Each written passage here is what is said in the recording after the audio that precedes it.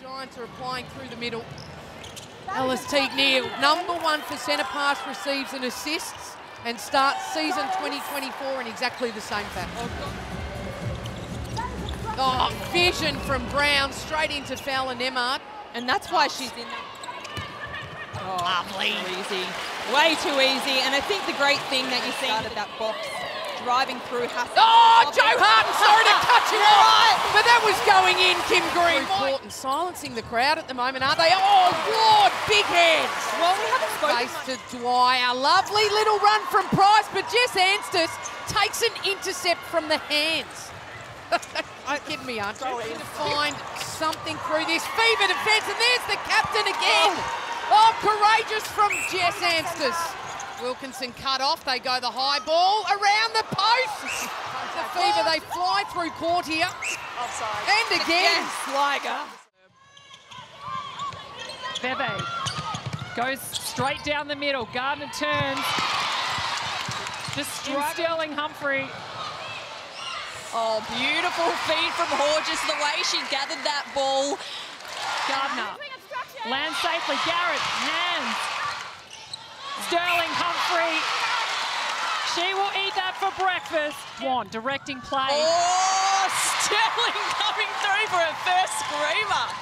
Gardner opens it up. Wallam's out. Fires it through to Dwan. High, but go long through through. Kamo comes up with an early win. The screen's on from Wallam.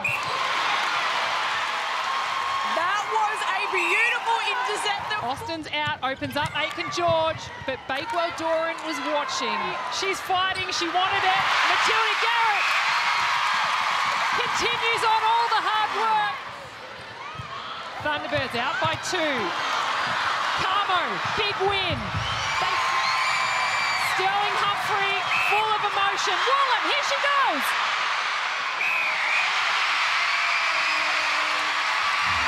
It's a contact call. It wasn't her ball. Save that ball from going out.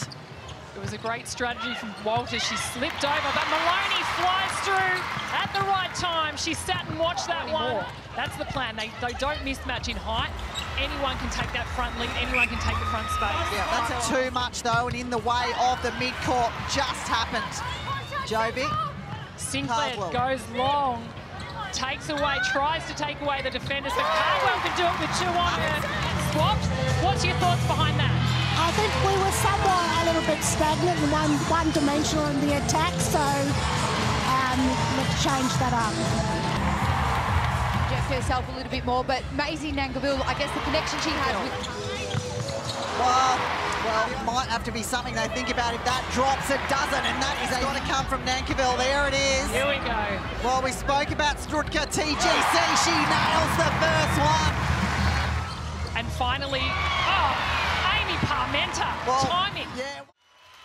And puts the Lightning in front.